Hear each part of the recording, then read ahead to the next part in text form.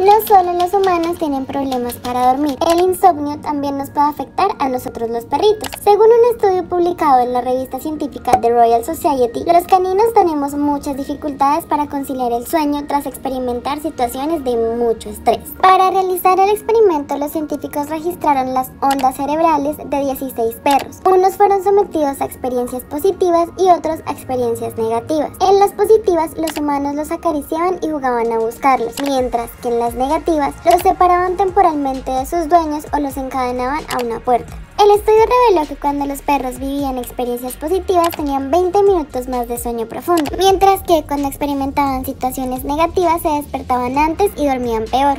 Según los autores del estudio, que un perro pase una mala noche no es un asunto alarmante, pero si esto ocurre de manera constante, sí puede representar un problema ya que los perritos, al igual que los humanos, retenemos mejor el aprendizaje si dormimos bien. Recuerden que los perritos debemos establecer una rutina diaria en donde se incluya actividad física. Esto hará que tengamos menos estrés y podamos dormir mejor.